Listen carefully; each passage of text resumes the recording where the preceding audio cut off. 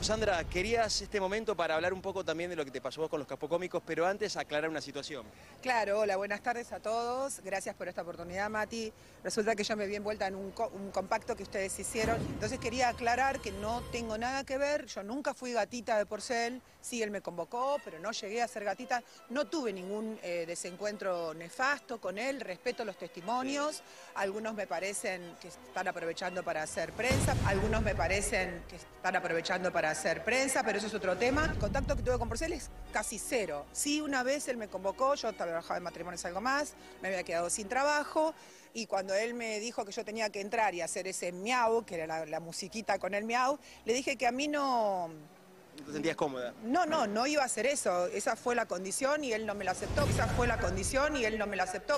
Por no decir miau, por ser te dejó sin trabajo. Claro, bueno, el miau no era solamente el miau, el ma- era entrar, presentarse con la musiquita, pero yo entendía que en el ambiente artístico el miau era un ser gato.